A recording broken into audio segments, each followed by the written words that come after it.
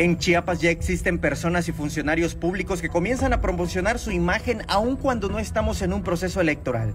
A ellas y ellos, el INE les pide que acaten las reglas en la materia.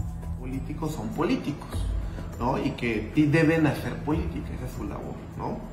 Por supuesto, eh, siempre ceñidos a estrictas reglas que están claramente definidas en la propia Constitución y en la propia ley, general de instituciones electorales.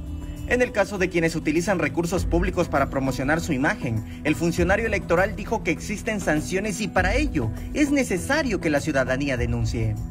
Cuando les aplica, por ejemplo, son funcionarios públicos, por ejemplo, eh, eh, recordar las reglas de la propaganda gubernamental, no puede eh, contener, este, pues obviamente no puede haber una promoción personalizada del servidor público, etcétera, etcétera.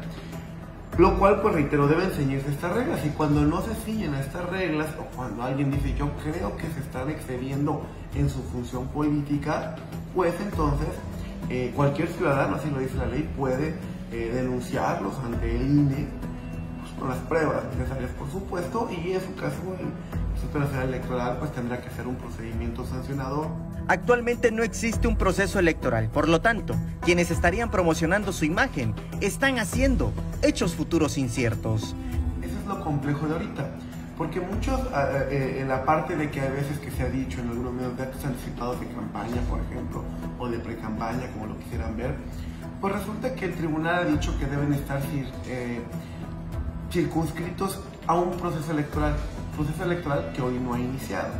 Entonces, el tribunal te puede decir que fácilmente que son hechos futuros de realización incierta, porque también la realidad es que alguien puede decir, hoy yo quiero ser candidato a presidente municipal.